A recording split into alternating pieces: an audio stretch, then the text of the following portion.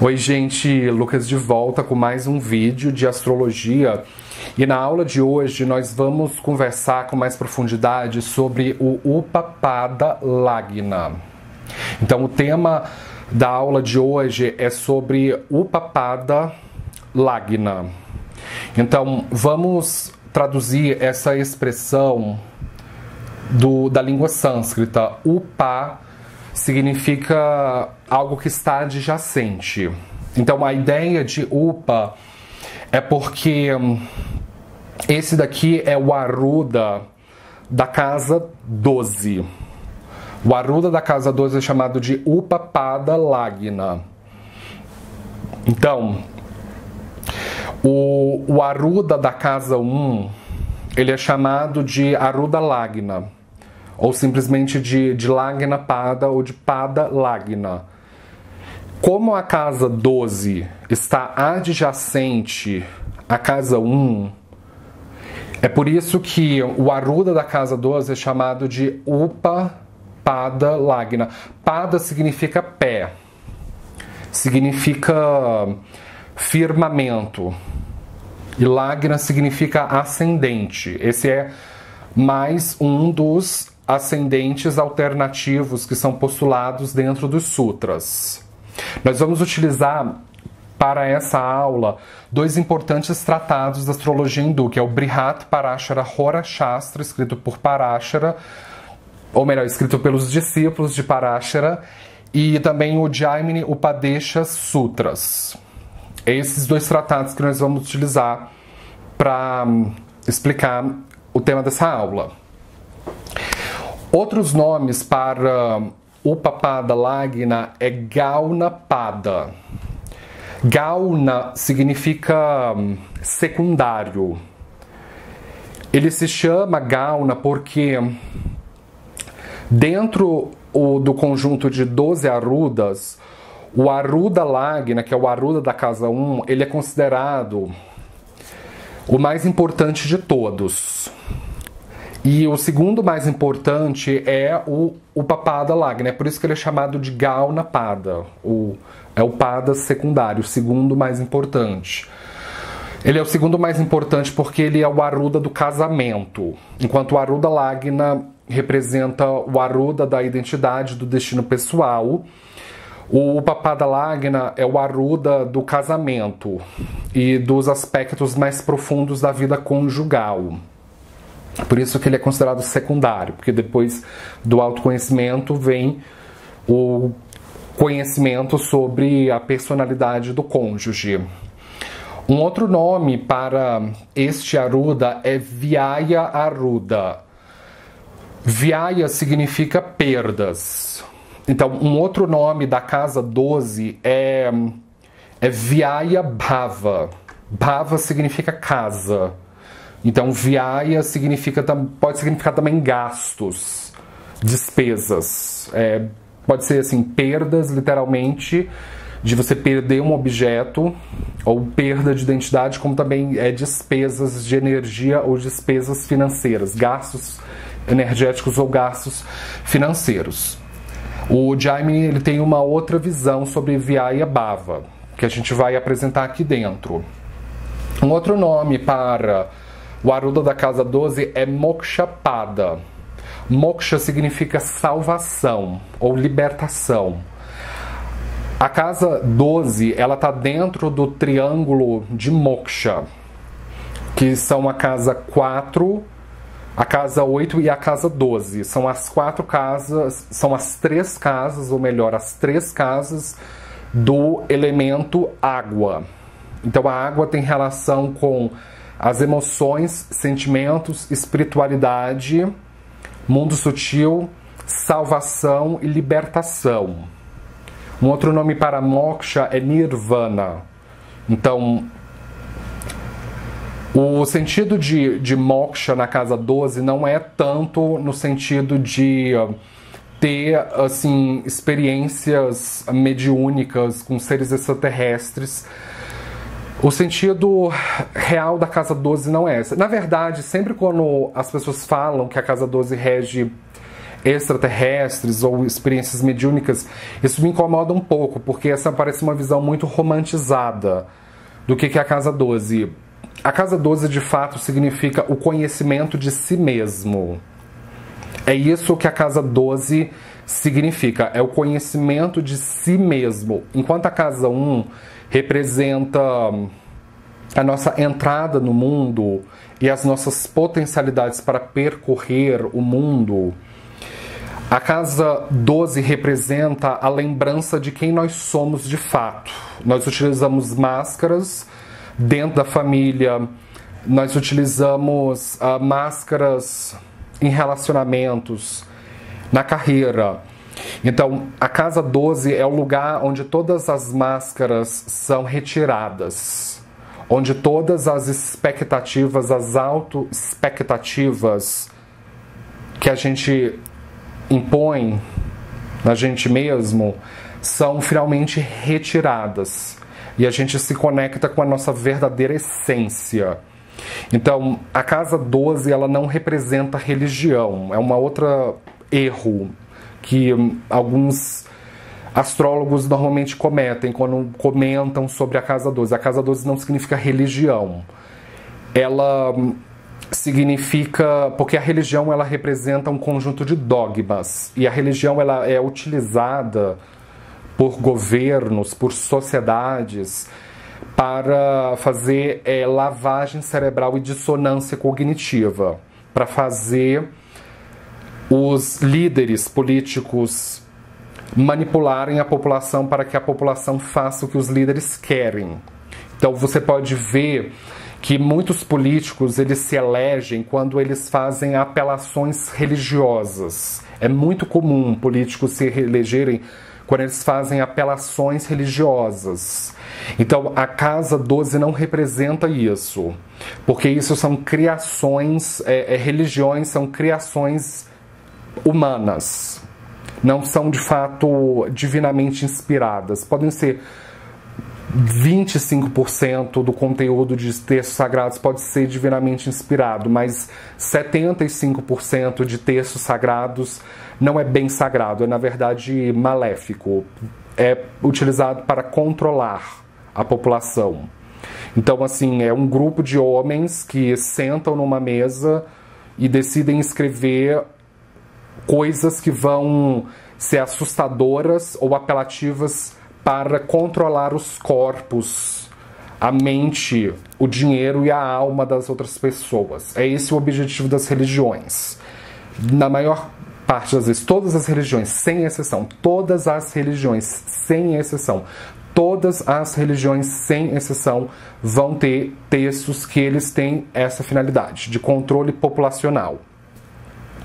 Então, a casa 12, ela representa a nossa capacidade de transcender dogmas religiosos e nos conectarmos com a verdadeira espiritualidade, que é entendermos que nós somos imanência do divino. Então, assim, é, a casa 12 tem muito mais a ver com conectar-se com a sua própria natureza. E a sua natureza ela é peculiar. Ela não, ela não tem, ela não pode ser moldada por uh, expectativas sociais ou por dogmas. Isso tem mais a ver com as outras casas do mapa. Desde a casa 2 até a casa 11. A gente utiliza máscaras sociais para conseguir ser aceito. A casa 12 ela supera. Porque hum, tentar adquirir aprovação social é uma forma de é, buscar pelo sofrimento. Então a casa 12 representa a libertação do sofrimento. Então ela é classificada como maléfica porque hum, dói você retirar as máscaras, dói você retirar as armaduras. É doloroso, é um processo que ele pode ser hum, assim traumático às vezes. Desapegar de coisas que não fazem sentido, que atrapalham na nossa jornada espiritual. Então, a casa 12 ela é uma casa difícil de acessar, porque você tem que é, ter profunda capacidade de se desapegar de coisas que não interessam de fato para entender a si mesmo. Esse é o verdadeiro sentido da casa 12, é o conhecimento de si mesmo, é a lembrança de quem você é. Não tem nada a ver com conexão com extraterrestres ou com é, experiências mediúnicas com seres reptilianos ou arcturianos ou pleidianos. A casa 12 não tem nada a ver com isso. É o conhecimento de si mesmo, é a aceitação da sua própria natureza. Tá certo? Então é por isso que o Aruda da casa 12 ele é chamado de Mokshapada, porque é o Aruda que vai te ajudar a adquirir libertação ou salvação. Então, o então, dentro do Upadesha Sutras, o Jaimini diz que existem 12 arudas para cada uma das 12 casas. Esse daqui, como vocês podem ver, é o, é, um, é o meu horóscopo pessoal. Eu vou utilizar o meu horóscopo para ensinar vocês a como calcular o Papada Lagna, porque simplesmente eu tenho mais intimidade com esse horóscopo. Então vai ser com eles que a gente vai trabalhar. Esse mapa aqui ele já está retificado. Eu sempre aconselho que quando vocês vão trabalhar com arrudas, vocês retifiquem o horário de vocês de acordo com o momento das contrações uterinas ou das contrações do parto e não o, o horário da primeira respiração. Porque o horário da primeira respiração, a gente respira, a gente inspira e expira pela, pela, pelo nosso nariz. E o nariz ele está na casa, é, no rosto. O rosto é regido pela casa 2, na astrologia anatômica. Então, o horário da primeira respiração ele é o signo que ocupa a casa 2 e não a casa 1. Um. É o horário das contrações do parto ou das contrações uterinas que representam o signo que ocupa a casa 1. A casa 1 é a verdadeira casa que representa a vontade de nascer. A casa 2 não é a casa do nascimento, é a da primeira respiração. Então você tem que retificar o horário do seu nascimento para o horário das contrações uterinas. Esse mapa aqui ele já está retificado. Eu tenho um ascendente em câncer. Então, o mapa sul da Índia regular significa que as constelações ou signos zodiacais são fixos, são as casas que andam. Então, se o ascendente é câncer, então isso significa que câncer é a casa 1, leão é a casa 2, virgem é a casa 3, etc, etc, até chegar em Gêmeos, que representa a casa 12. Cada quadrado desse representa um signo que vai representar uma casa. E o ascendente é o que corta o mapa e vai dizer que é o início do mapa, é onde o ascendente ou Lagna está. Então, o Jaime diz que o Aruda representa a expressão superior de alguma coisa representa algo que se monta, algo que se eleva, algo que se destaca na multidão. Eu gosto de dar o exemplo da cadeia de montanhas para explicar o que é a Arruda. Então você olha na linha do horizonte uma cadeia de montanhas, você vê que todas as montanhas são mais ou menos do mesmo tamanho. Aí vai ter uma montanha que ela é bem mais alta do que as outras. Então ela se destaca das outras montanhas porque ela é mais alta. É isso que a Aruda de fato significa. É algo que se destaca na multidão. Existe um erro conceitual entre astrólogos védicos modernos sobre esse assunto de Aruda. O erro é o seguinte: existem astrólogos modernos que eles vão traduzir a palavra Aruda como sendo uma persona social ou a sua imagem pública ou como as outras pessoas enxergam você, mas que não é de fato você. Que é uma ilusão, que é uma mentira, que é um personagem, que é uma, uma caricatura social sua, mas que não é real, que é uma mentira, que é maia. Essa visão, ela está quase que completamente equivocada, na minha opinião, porque se você buscar a origem da palavra arruda, Aruda não significa ilusão, não significa uma falsa impressão social, imagem pública, não. Aruda significa a expressão superior de alguma coisa. Representa algo que se destaca na multidão, que se salienta na multidão. Então não tem a ver com ilusão. O Aruda significa que todas as casas têm um Aruda então, todas as casas vão ter uma capacidade de se destacar por aquilo que é de fato.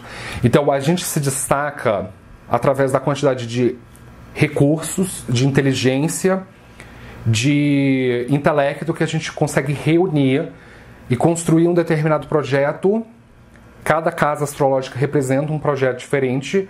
Então, dependendo de como a gente consegue construir esse projeto, a gente pode se destacar por esse projeto, dependendo da recepção do público. Então, o Aruda ele representa um projeto social que a gente oferece. Então, dependendo do retorno, pode ser um retorno positivo e a gente se destaca bem. Então, não é uma mentira, não é um projeto mentiroso, é algo que a gente quer oferecer para a sociedade e hum, é uma coisa boa, é um bom impacto que a gente quer fazer para a sociedade. Então, a gente se destaca por aquilo. É pelo Aruda que a gente vai é, diferenciar se um casamento ele vai ser hum, ordinário ou se ele vai ser excepcional ou se ele vai ser bom. É pelo Aruda que a gente consegue julgar essas coisas. Então, o, o Jaime diz que o Aruda da casa 1 se chama Aruda Lagna. Se você assistir meu vídeo sobre Aruda Lagna, você vai entender o que, que é. O Aruda da casa 2 se chama Dana Pada. Dana significa fortuna. O da 3 se chama Bratrupada. Bratru significa irmão. Da 4 se chama Matrupada. Matru significa mãe. Da 5 se chama Mantrapada ou Putrapada. Mantra significa textos sagrados, versos cantados.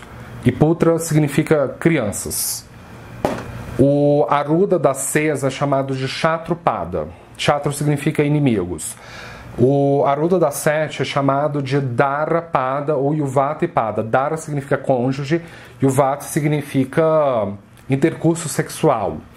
O Aruda da casa 8 é chamado de Randrapada. Randra significa significa fraquezas. O Pada da casa 9 é chamado de Dharmapada ou Pitrupada. Dharma significa natureza social, missão social e um, significa pai. O Aruda da 10 é chamado de Karma Pada. Karma significa ação.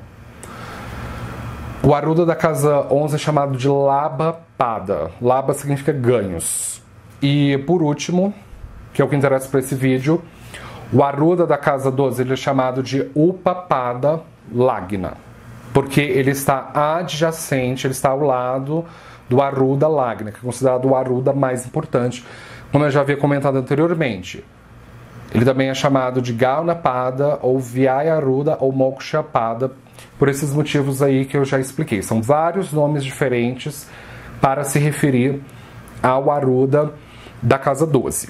Então, a visão mais coloquial que se tem sobre a casa 12 é como sendo uma casa negativa, é como sendo uma casa de espiritualidade, de solitude, de monasticismo, de terras distantes, de asilos políticos ou de presídios, de manicômios. É uma casa que representa perdas, separação do mundo material. Ela representa tristeza. Então, ela é normalmente categorizada como uma casa dustana. Dustana significa sofrimento, ou também chamada de trick, casa trick. Só que, na minha opinião, a casa 12 ela não é tão dustana, ela não é tão maléfica quanto as outras casas do Sana. A casa 6 é muito mais maléfica, a casa 8 é muito mais maléfica do que a casa 12. Então, essa é a visão mais estereotipada da casa 12. Só que na perspectiva é, dos Arudas e Padas, a casa 12 também representa o nosso casamento. Exatamente. A casa 12 também representa o nosso casamento. E o Upapada Lagna vai dar algumas indicações mais profundas sobre como vai ser o casamento do nativo.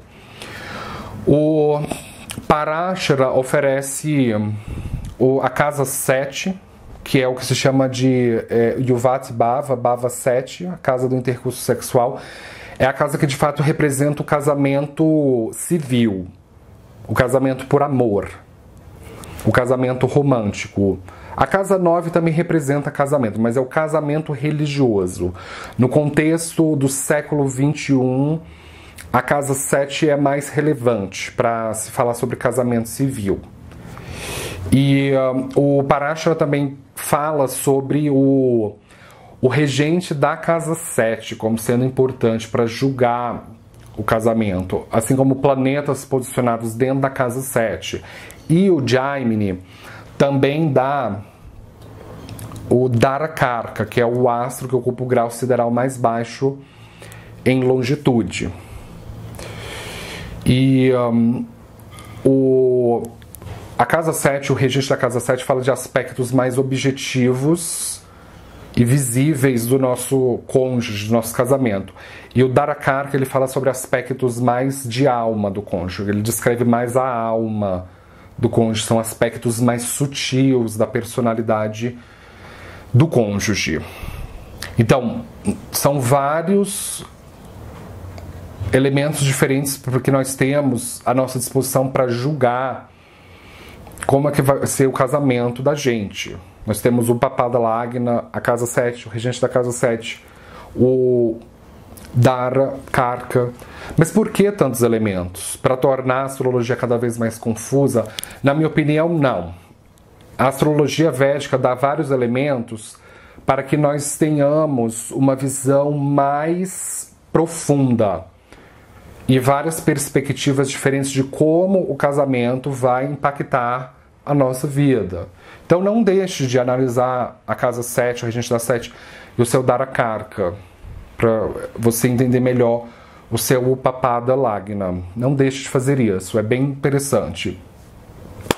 Então, o, a casa 12, ela representa os prazeres secretos, os prazeres da cama. Representa quartos. Porque imagina que o teu horóscopo é como se fosse a planta baixa de sua própria residência. Então, cada casa representa um aposento diferente. A casa 1 representa a sala de estar, a 2 representa o cofre, a 3 as, a biblioteca, a 4 a cozinha, a 5 o quarto das crianças, a 6 representa a área de serviço, etc.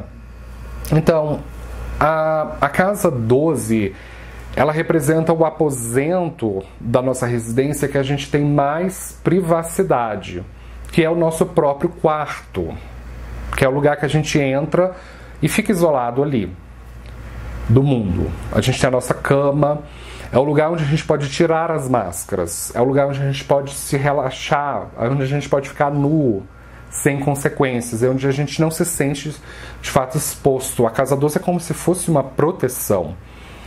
Então, por isso, a casa 12 representa a cama, os prazeres da cama, a intimidade sexual, a capacidade de libertar-se do sofrimento do mundo, o orgasmo, o êxtase que a gente experimenta com o nosso cônjuge.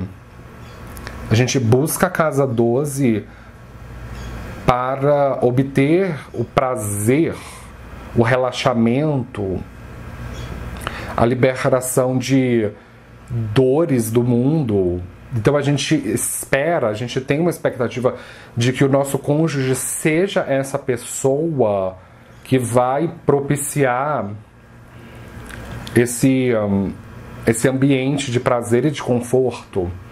Então é por isso que quando se fala sobre arudas e padas, a casa 12 e o aruda da casa 12 representa a expressão superior do casamento. Como vocês podem ver, a casa 12 ela não é uma casa tão fácil assim é, de ser compreendida. E então eu vou ensinar para vocês agora como que vocês uh, avaliam a, a casa 12? A casa 12, ela é ela tem associação natural com o signo de peixes. O signo de peixes, ele é conhecido em sânscrito como Mina Rashi. Mina significa peixe. E Rashi significa signo. O, o planeta Júpiter é o que rege o signo de peixes na astrologia clássica. Júpiter é chamado em sânscrito de Guru, porque ele é o Deva Guru, ele é o Guru dos Devas, o Guru das religiões dármicas e também porque ele é chamado de Brahaspati. Brahaspati significa o maior de todos. Júpiter é o maior do sistema solar. Ele é um escudo que protege a Terra contra asteroides e meteoros. Ele esfacela asteroides e meteoros.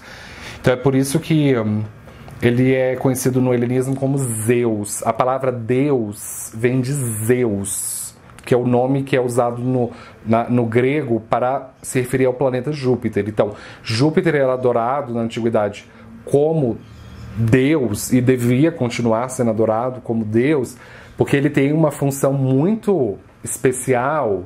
Ele é o que esfacela os asteroides e os meteoros que seriam nocivos. Sem a presença de Júpiter, esses meteoros cairiam na Terra iriam afundar continentes e destruir civilizações.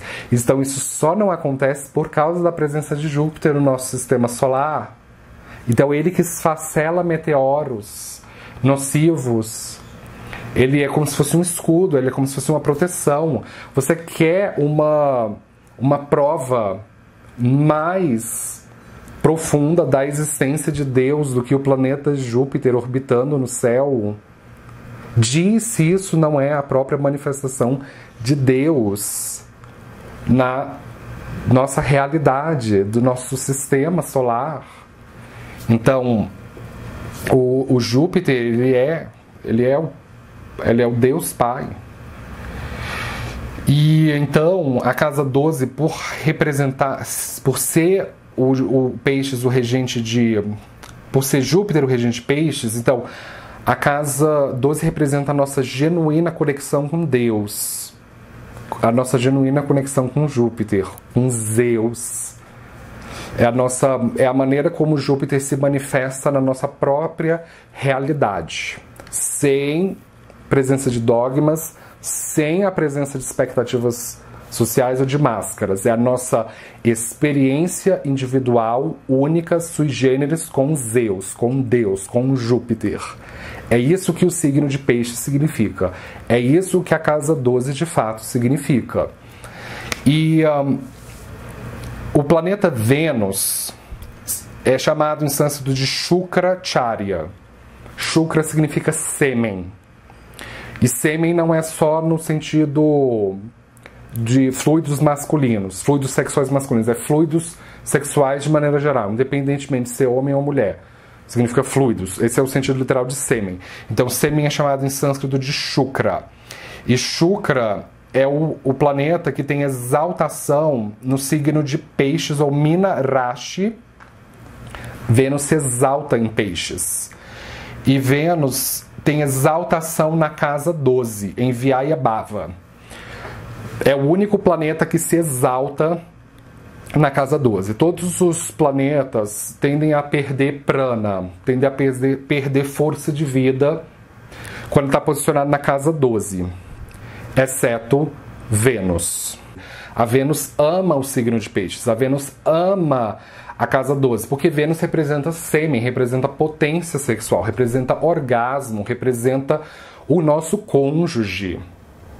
Então ela ama a casa 12 porque as casas 12 o signo de peixe se afinam bem com Vênus.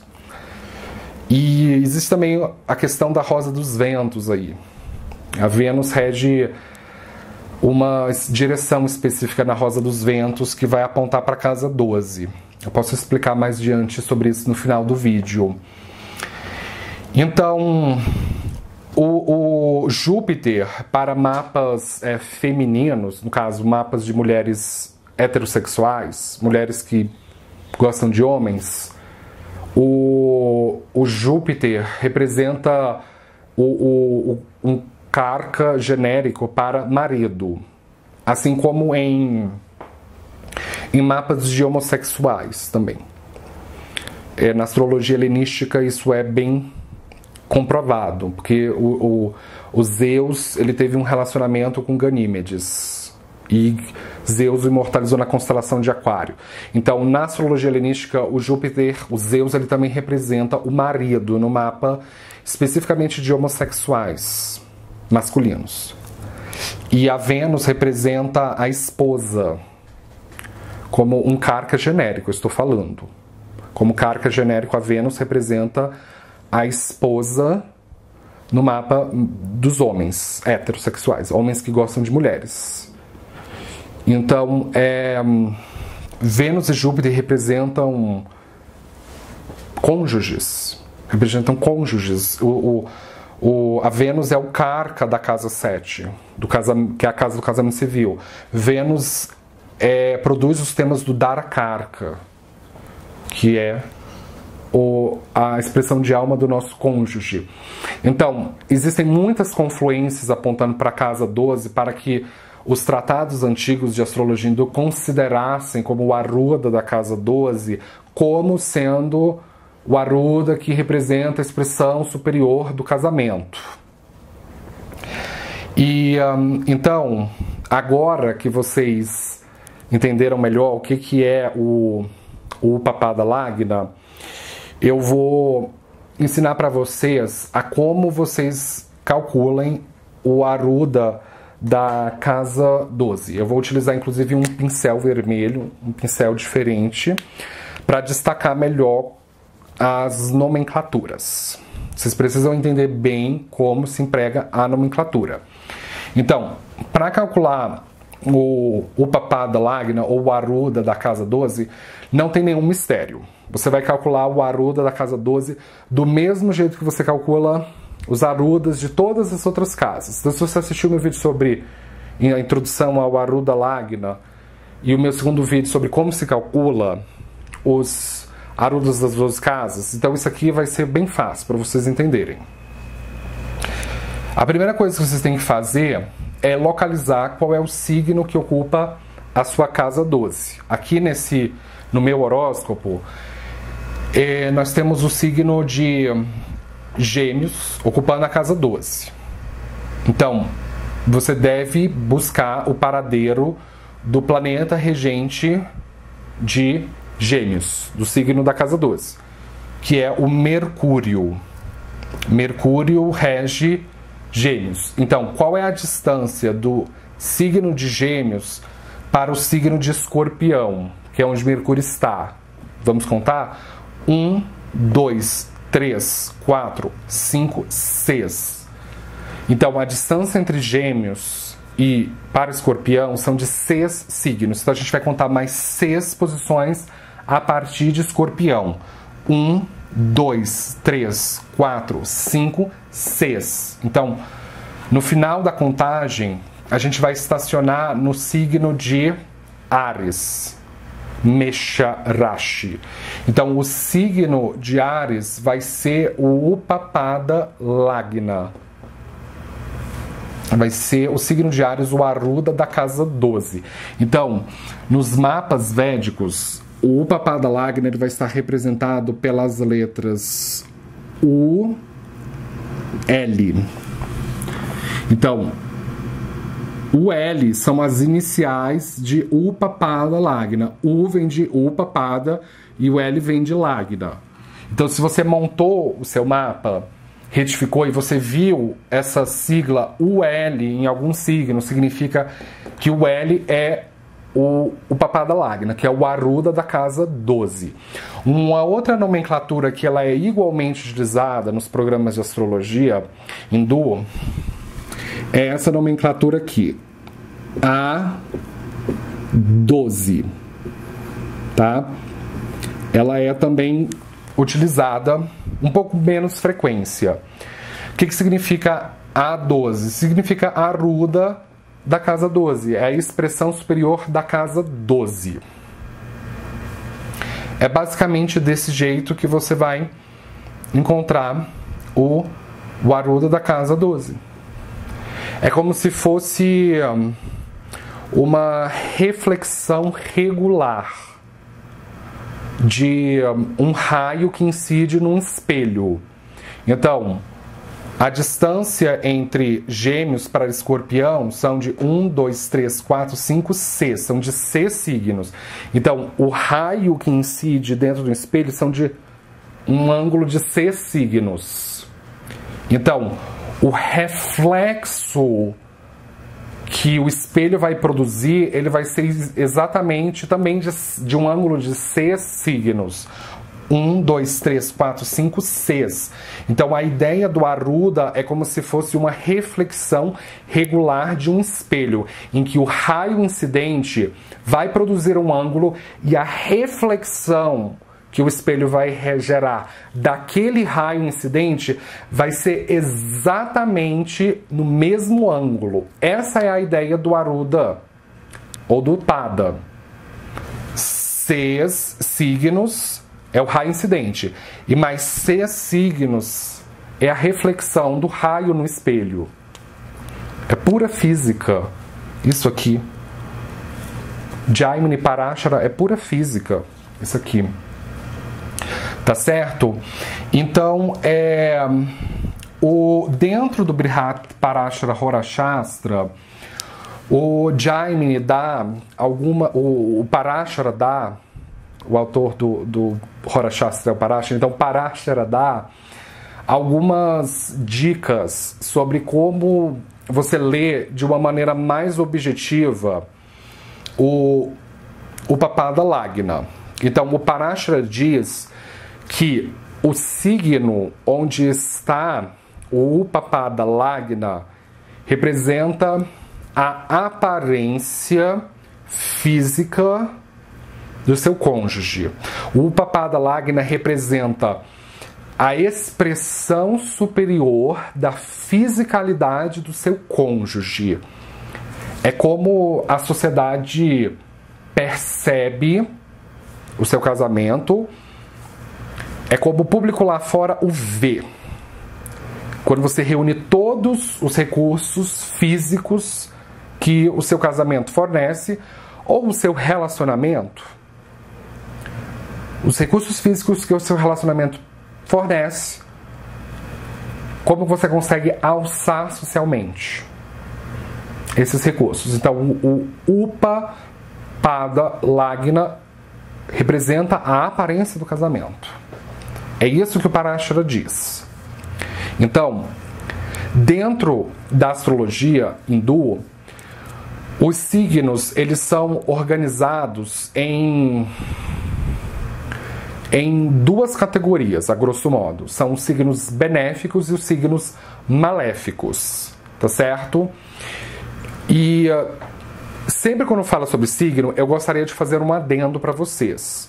Na astrologia hindu, a gente preserva a, a regência clássica dos, dos signos. Então, os dois luminares, que são o Sol e a Lua, eles vão reger apenas um único signo. Então, o Sol vai reger apenas o signo de Leão, e Leão é um signo masculino. Então, o Sol ele é o astro mais masculino de todos. E a Lua vai reger também somente um signo, que é o signo de Câncer, que é um signo feminino, noturno. Então, a Lua é o astro mais feminino de todos. Com exceção dos luminares, todos os outros planetas ou estrelas vagantes, ou mais especificamente, taragrahas, para utilizar as nomenclaturas sânscritas pertinentes. Então, todas as taragrahas vão reger dois signos, vão reger um signo masculino e um signo feminino.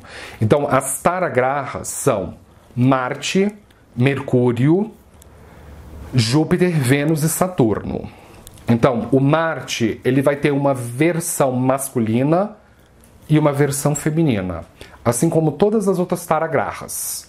Porque todas as taragrahas vão reger um signo masculino ou diurno e um signo feminino. Marte rege o signo de Ares e Escorpião. Ares é masculino, diurno, e Escorpião é feminino. Então, Ares é a parte masculina de Marte, Escorpião é a parte feminina de Marte. A Vênus vai reger Touro e Libra. Touro é um signo feminino, Libra é um signo masculino. O Mercúrio vai reger Gêmeos e Virgem. Gêmeos é um signo masculino e Virgem é um feminino. O Júpiter rege Peixes e Sagitário. Peixes é o lado feminino de Júpiter e Sagitário o masculino. E Saturno rege Aquário e Capricórnio. Então, Aquário é o lado masculino de Saturno e o Capricórnio é o lado feminino. Todos os taragrahas têm um lado masculino e um feminino. Então, os nodos da Lua, que são chamados de Rahu e Ketu, Rahu representa o nó do norte da Lua e Ketu representa o nó do sul da Lua. Rahu e Ketu não regem signos na astrologia védica clássica. Não regem. Rahu e Ketu não podem ser dispositores de casas porque eles não são planetas, eles são eclipses, eles são planetas fantasmas ou chaya grahas, para empregar a nomenclatura pertinente. Então, não existe arudas, bava arudas derivados de Rahu Não existe, porque eles não regem casas. E um, então é o Saturno que rege Aquário e não Rahu. É o, é o Marte que rege o escorpião e não queto. A mesma coisa se aplica para os planetas transpessoais ou transaturninos ou geracionais, que são Urano, Netuno e Plutão. Eles são influências invisíveis, inconscientes. Então, é, planetas transpessoais não regem signos na astrologia clássica. Então não existem bava arudas derivados de planetas transpessoais tão pouco. É o Saturno que rege Aquário e não Urano. É Júpiter que rege Peixes e não Netuno. É Marte que rege Escorpião e não Plutão. A mesma coisa se aplica aos chamados asteroides. Asteroides nem sequer são utilizados na astrologia hindu. Mas como vem muita gente que cai de paraquedas na astrologia védica, que tem alguma experiência com a astrologia ocidental moderna, que utiliza um horror de asteroides, um, uma penca de asteroides, acha que na astrologia védica se usa também. E não se usa. Tampouco se aplica regência de asteroides para signos. Então, é Júpiter que rege Sagitário e não o asteroide Quiron. Então, não existem é, bava arrudas derivados de asteroides. Isso não existe. Bava arrudas são gerados especificamente através dos grahas, dos sete grahas tradicionais, os dois luminares e as cinco estrelas vagantes. Tá certo? Então, as sete estrelas, uh, ou melhor, as sete grahas, eles são categorizados em benéficos e maléficos. Então, o, os planetas maléficos são o Sol, Marte e o Saturno. E os planetas benéficos são a Lua, Mercúrio, Vênus e Júpiter. Então, os planetas maléficos não é que eles são maus, eles são austeros, eles dão as coisas com mais dificuldade, com mais sofrimento. Você vai ter que trabalhar para conseguir manifestar a agenda dos maléficos. E os planetas benéficos, eles fornecem com graciosidade, com facilidade, com meiguice as coisas que eles querem nos dar. Então, se existe uma categorização de planetas benéficos e maléficos, os signos eles também vão ser categorizados como benéficos e maléficos. Se o Sol, Marte e o Saturno são maléficos, os signos regidos por esses maléficos também serão maléficos. Então, o Sol rege Leão. Então, o Leão também é um signo maléfico. Que pode ser chamado de Krura, Gra, Krura Rashi. Krura significa cruel. No caso, o Sol ele é um Krura Graha e o Leão é um Krura Rashi. Ou pode ser chamado também de Papa Graha. Embora o Sol ele não seja categorizado como Papa Graha, porque ele é sátvico. Mas o Marte e o Saturno são categorizados como papagrahas, como planetas de pecado. Porque o Marte rege ira e o Saturno rege preguiça, são pecados. Então, o Marte é maléfico, ele rege Ares, Escorpião. Então, Ares e Escorpião também são signos maléficos. E o Saturno rege Capricórnio e Aquário. Então, Capricórnio e Aquário também são signos maléficos. No caso dos benéficos, a lua é benéfica, ela rege o signo de Câncer. Então, Câncer é um signo benéfico. É um Graha. A lua é um Salmia Graha ou um Shubha Graha. Então, o signo de Câncer vai ser um Salmia Rashi ou um Shubha Rashi. O Mercúrio é benéfico. Ele rege Gêmeos e Virgem. Então, Gêmeos e Virgem vão ser benéficos. E a Vênus é benéfica. Então, o Touro e Libra também vão ser signos benéficos. E o Júpiter é benéfico também. Então, Sagitário e Peixes também vão ser benéficos.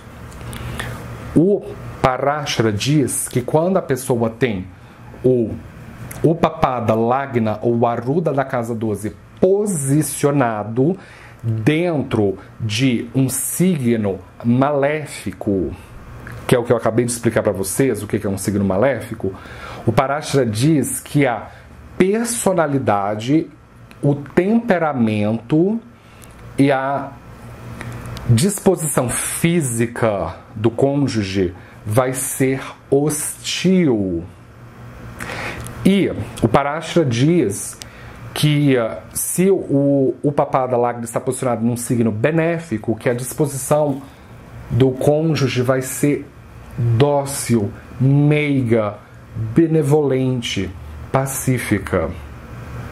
Então, aqui nesse caso, eu tenho o meu o Papada Lagna posicionado no signo de Ares. Eu sou gay, eu estou num relacionamento com um homem há mais de oito anos. O nome do meu namorado se chama Léo. A gente inclusive já morou juntos. E um, o meu papada Lagna está posicionado em Ares. E no mapa astral do Léo retificado, ele tem o ascendente em Escorpião. Então, o meu papada Lagna é regido por Marte e o ascendente, no caso o Jamina Lagna do, do Léo, é em Escorpião, que também é regido por Marte. É um Krura Rashi. Um Papa Rashi. Então a aparência do. A personalidade do Léo é bastante austera. Ele é bastante masculino. Bem mais masculino do que eu um, bem mais assim é, cruel quando tem que ser cruel. O Léo quando quer ser cruel ele consegue ser bastante cruel, mas é muito cheio de iniciativa e protetor, porque o Ares é protetor. E um, o Parashara diz também para nós verificarmos se há planetas fazendo conjunção com o nosso Upapada Lagna. No meu caso isso não acontece, porque no meu mapa eu não tenho nada em dentro de Ares, eu não tenho nenhum Graha dentro de Ares. Então assim, é, eu vou pedir para você verificar, uma vez que você encontrou o seu Upapada Lagna, verifique se o seu Upapada Lagna está fazendo conjunção com algum planeta. Pode incluir, inclusive Ra Ketu, que são classificados como maléficos. Tá? Ra Ketu são planetas maléficos. Eles são é, papagrahas. Eles são é, cruragrahas, rahiqueto. Então, se o seu Upa Pada Lagna está fazendo conjunção com um benéfico, tipo Lua, ou Vênus, ou Mercúrio, ou Júpiter, Parashara diz que a aparência do cônjuge, do marido ou da esposa, vai ser bela, vai ser harmoniosa. Porque os planetas benéficos, eles dão beleza física, eles dão harmonia. A Lua é considerado o astro mais belo de todos. Ela é tão bela que ela teve 27 cônjuges, que são os nakshatras. Parashara diz que quando um planeta maléfico, no caso um, um Krura Graha, um Papa Graha, está fazendo conjunção com o, o Papada Lagna, que a aparência do cônjuge vai ser bruta, que ela vai ser rústica. E se um planeta estiver debilitado e fazendo conjunção com o, o Papada Lagna, tipo, o Saturno tem debilitação ou queda em Ares. Então, uma pessoa que tem o Papada Lagna em Ares, fazendo uma conjunção com Saturno debilitado em Ares. O Parashara diz que a pessoa que tem isso, que o cônjuge dela vai ser feio que dá feiura, porque Saturno, se ele estiver mal posicionado, ele dá feiura. Então, o Upapada Lagna, ele dá uma descrição alternativa, porque é um ascendente alternativo da aparência do seu cônjuge. Parashara também pede para nós verificarmos o Upapada Lagnesha. O que, que é o Upapada Lagnesha? O Upapada Lagnesha é o planeta que rege o seu Upapada Lagna. Então, para um Upapada Lagna em Ares, o Upapada Lagnesha vai ser Marte. Então, o Parashara diz que o Upapada Lagnesha fala sobre a origem do cônjuge. Então, você deve verificar qual é a casa em que o Upapada Lagnesha está posicionado. Então, o Parashara diz que se o Upapada Lagnesha estiver posicionado numa casa Kendra, as casas Kendra são as angulares, são a casa 1, 4, 7 ou 10. São as chamadas Vishnu Stanas, são casas que são pilares de força, isso é considerado auspicioso para o cônjuge. Ou se o Papada Lagnesha estiver posicionado em casas triconas, que são a casa 1, 5 ou 9, que são as casas de fortuna e sorte, são chamadas de Lakshmistanas, são as casas que sustentam as riquezas do cônjuge. Então isso é auspicioso para o cônjuge, significa que a origem da família do cônjuge vai ser boa, vai ter uma boa origem, uma boa educação uma educação esmerada. Agora, o, o Parashara também fala sobre as casas trichádias, que são as casas de pecado, são a casa 3, 6 e 11. São as casas de desejo. A casa 3 e 11 são casas de desejo e a casa 6 é uma casa de vícios e fraquezas. Então, se o regente do Upapada Lagna, que é o Upapada Lagnesha, estiver posicionado numa trichádia, se for três ou seis, são casas que representam desejo.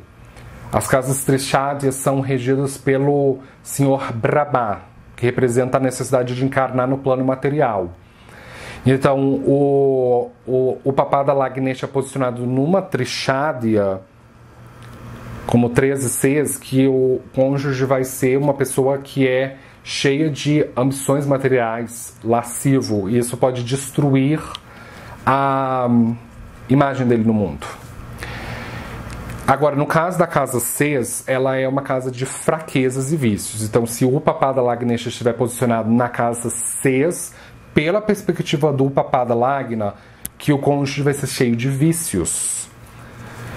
E o Parashara também fala sobre as casas dos Tanas. Então, se o Papada Lagnesha estiver posicionado numa dos Tanas, as casas dos Tanas são a casa 6, 8 e 12. São casas regidas por Shiva, por Rudra, que representam transformação ou dissolução da matéria, saída do mundo. Então a pessoa vai ter mais sofrimento, que o cônjuge tenha uma origem sofrida, que tem uma que tem traumas de família. E você também deve verificar se o papada Lagnesha está posicionado num signo de domicílio, exaltação a um signo amigo, que isso favorece a origem do cônjuge. Se o papada Lagnesha estiver posicionado num signo de queda ou inimigo, que isso desfavorece a origem do cônjuge. Você também pode verificar o, o papada Lagna pela perspectiva do seu próprio Jamna Lagna, o seu próprio Lagna natural, o seu ascendente natural. Então, o meu é Câncer. Então, o, o Papada Lagna cai na casa 10, que é onde está Ares. Então, Parashara diz que quando o, o Papada Lagna está numa casa tricona, ou, ou Kendra, pela perspectiva do Jamna Lagna, que isso é auspicioso também para as coisas tanto do Papada Lagna quanto para o Jamna Lagna, que elas se afinam. Mas assim, Kendras secretamente tem uma relação um tanto antagônica, mas ainda assim auspicioso. Então, o, o Papada Lagna, numa Trishadya ou numa Dustana, pela perspectiva do Jamna Lagna, pode trazer problemas para o casamento, porque está numa relação desafiadora. O Papada Lagna está numa relação desafiadora com o Jamna Lagna. O Parashara também comenta sobre os, o, o, a casa 2, pela perspectiva do Papada Lagna. A casa 2, pela perspectiva do Aruda, da 12, representa a longevidade do cônjuge e do casamento. E por que representa a longevidade? Porque a casa 2 do Papada Lagna representa os recursos financeiros que nós recorremos no casamento.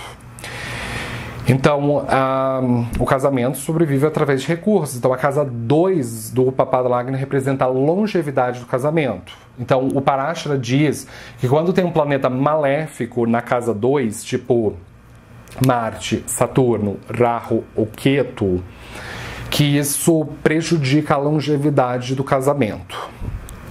E o Parashara diz que quando é um planeta benéfico, como a Lua, Vênus, Júpiter, Mercúrio, posicionado na casa 2 do Papada Lagna, que isso favorece a longevidade do casamento. Você deve verificar também o regente da casa 2 do pelo Papada Lagna. Porque no meu caso, a casa 2 do Papada Lagna é touro. E Vênus rege a casa 2. Vênus está posicionada em Virgem, na casa 6 do Papada Lagna. E o nosso relacionamento entre eu e o Léo, ele teve dificuldade para se sustentar, que a gente teve problemas com o aluguel do imóvel que a gente alugou para morar junto. E um, a casa 2 representa recursos. Então, a Vênus debilitada em Virgem e ainda na condição de Marna Karkistana, porque a casa 6 do Papada Lagna é a posição de Marna Karkistana de Vênus. Então isso traz problemas financeiros, traz problemas de longevidade para a relação. Então você deve verificar o paradeiro do regente da casa 2 pela perspectiva do Papada Lagna. O regente da casa 2 fazendo conjunção com planetas benéficos estende a longevidade do casamento.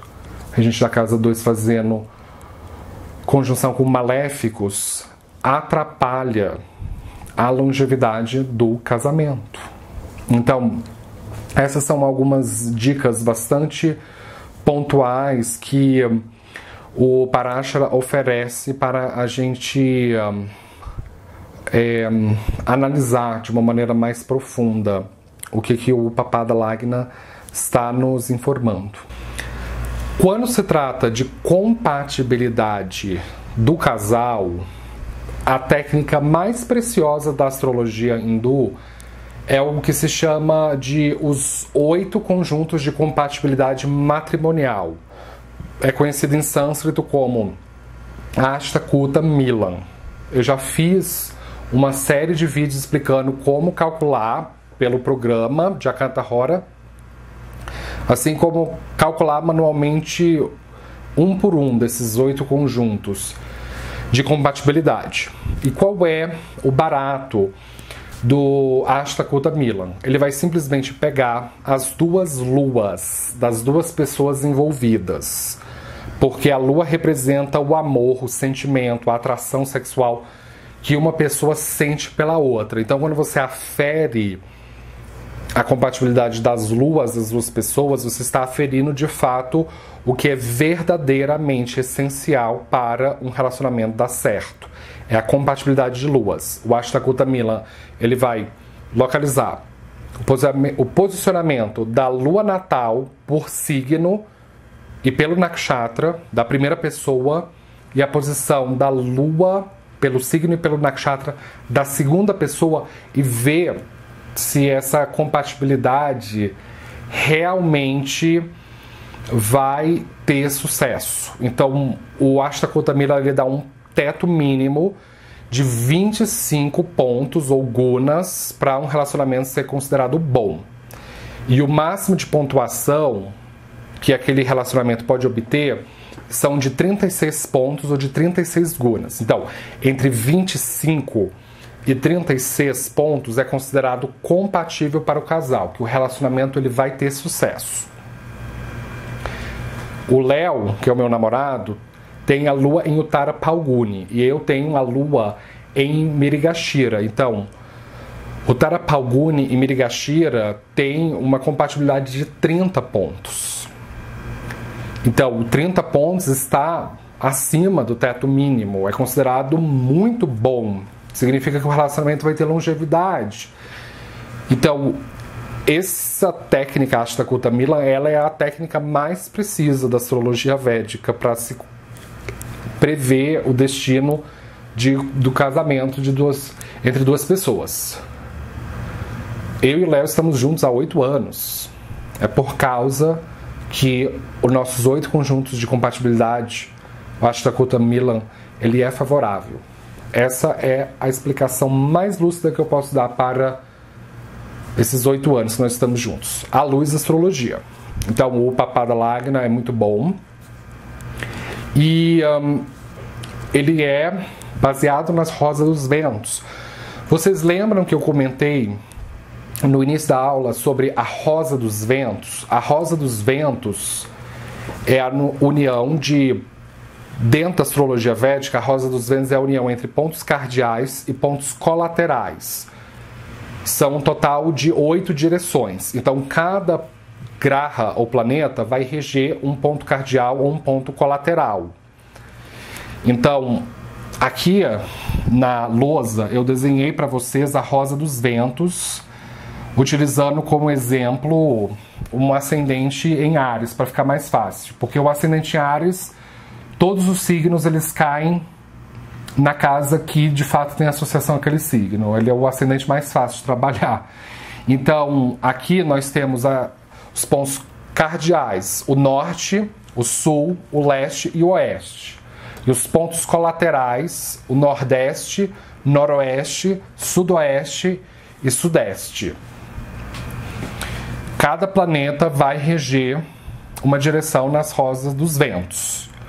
Então, o norte ele é representado pela casa 4 e por derivação pela casa 5 no mapa sul indiano, especificamente. Tanto a casa 4 quanto a casa 5 vão ser representadas pelo norte, assim como os signos de um, Câncer e Leão são representados pelo norte. E o norte é regido pelo planeta Mercúrio. E em oposição ao norte, nós temos o sul.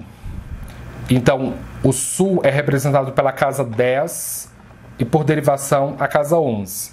A casa 10 é tem associação com Capricórnio e a 11 com Aquário.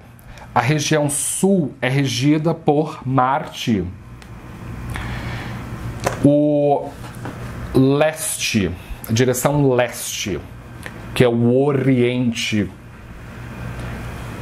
é representada pela casa 1 e por derivação pela casa 2. E um, também pelos signos de Ares e Touro. Então, o leste é regido pelo Sol. E tem uma explicação para isso. Porque o Sol nasce pelo leste. Ele se ergue pelo oriente. A aurora se apresenta pelo oriente. E o Sol se põe a oeste. A direção oeste é representada pela casa 7 e, por derivação, a casa 8. E os signos de Libra e Escorpião. A casa. A, a, direção oeste é o ocidente do mapa. Ocidente em latim significa oxidans, significa morrer. Então, a casa 7 e 8 são por essas casas onde o sol começa a se pôr. É pelo oeste que o sol se põe, que o dia se finda e o crepúsculo se ergue. É o início da noite, das trevas. Então, o planeta que rege a noite, que rege as trevas, a escuridão, é o Saturno. Então, Saturno rege o oeste. O oeste também representa a morte. A casa 7 é uma casa matadora. É uma casa marca, representa a verdadeira casa da morte, enquanto a casa 1 representa o nascimento do indivíduo, a entrada do indivíduo no mundo. É quando a alma diva encarna no corpo físico. E a casa 7 é quando a diva desencarna do corpo físico. É quando o indivíduo deixa o mundo material. Então, os pontos colaterais eles são a união entre os pontos cardeais. Você sabia que o verdadeiro nome de leste não é leste, é na verdade este. Mas na língua francesa se fala, se fala leste, se pega o, o artigo le e contrai. Então se diz leste em francês. Aí o português pegou emprestado o leste do francês e somente retirou apóstrofe e colocou um E no final. Mas o correto é este. Sem um artigo francês, o correto é este. Então, o Nordeste é a junção de Nord mais Est. Nordeste. Essa direção é representada pela casa 3, que tem associação com o signo de Gêmeos. Essa direção é regida por Júpiter. O noroeste é a junção de nord, de nor, mais oeste. O noroeste é representado pela casa 6 e o signo de Virgem, e é regido pela Lua. O sudoeste é a junção de sud, sul, né? Sud com oeste. Sudoeste. É representado pela casa 9 e Sagitário. E quem rege essa direção é o Rahu. E por último, mas não menos importante, que é o que interessa para essa aula sobre o Papada Lagna, você já vai entender por quê. O Sudeste, ele é a junção de Sul, Sud com Este, se torna Sudeste. Essa região Sudeste tem relação com a casa 12 que é Viayabava, casa das perdas, e com o signo de peixes, Mina Rashi. E essa região é regida por Vênus. Então, existe uma sincronicidade aqui. Vênus rege a direção sudeste, Vênus tem exaltação no signo de Peixes e Vênus tem exaltação na casa 12, em Bava 12, em Viaia Bava, a casa das perdas. Lembra que eu comentei com vocês que Vênus é o único planeta que não perde força quando está posicionado dentro da casa 12? Na verdade, a Vênus adquire força, adquire potência nessa casa. O Upapada Lagna é o Aruda da casa 12. E o o Papada Lagna é a expressão superior do casamento civil. O casamento civil é regido por Vênus. Vênus é o carca da casa 7, a casa do casamento civil. Vênus produz os assuntos do Dharkarka, que é o indicador da alma do cônjuge.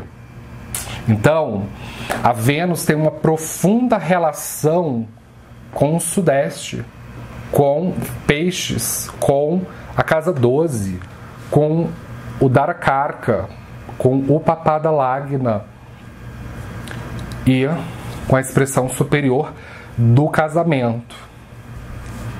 É por isso que dentro da astrologia Jaimini, quando se utiliza arudas e padas, o Upapada Lagna é a expressão superior do casamento, porque os aspectos mais íntimos do casamento do nativo é visto pela casa 12, pela casa de exaltação de Vênus. Então, tudo na astrologia tem um motivo. Então, o Upapada Lagna é um Aruda que tem profunda relação com a Rosa dos Ventos e especificamente com a região sudeste, com o planeta Vênus, a casa 12 e o signo de Peixes, tá certo? Então, com isso, eu gostaria de fechar. Eu espero que você tenha aprendido algo novo hoje. Se você é novo aqui no canal, não esqueça de se inscrever, de dar um joinha embaixo da tela. Eu posto vídeo de astrologia todos os dias, esteja sempre ligado para você não perder nada. Muito obrigado pela atenção e nos vemos na próxima. Tchau!